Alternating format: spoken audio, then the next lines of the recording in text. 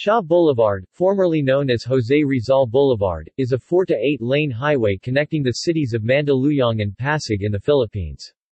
The boulevard is named after William James Shaw, the founder of the Wack Wack Golf and Country Club in Mandaluyong.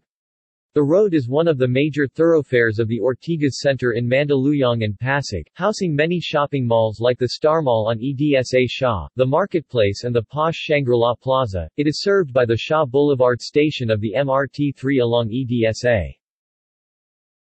Route description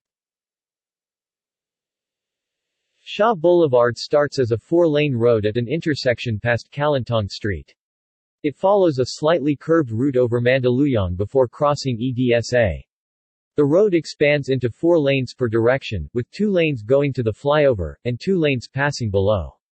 The flyover carries the road over Shaw Boulevard MRT station and descends near EDSA Shangri-La. The road becomes a dual six-lane carriageway east of EDSA, and soon enters Pasig.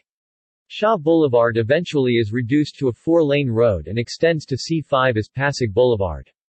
Schools Lourdes School of Mandaluyong Jose Rizal University Shopping Centers Star Mall Ortigas Center Shangri-La Plaza Pure Gold Shaw Branch Marketplace 500 Shaw Zentrum Shaw Center Mall. Crossings Department Store SM Cherry Shaw Branch SM Hypermart Mandaluyong Branch S&R Membership Shopping Shaw Branch Super 8 Grocery Warehouse Shaw Branch Metro Supermarket Shaw Center Branch Offices World Corporate Center Acquire BPOE Telecare Global Solutions CC 7 Shaw Site ICT Netcrossing 2 Solar Entertainment Corporation 9 Media Corporation CNN Philippines Intersection C Also Ortigas Avenue Ortigas Center EDSA References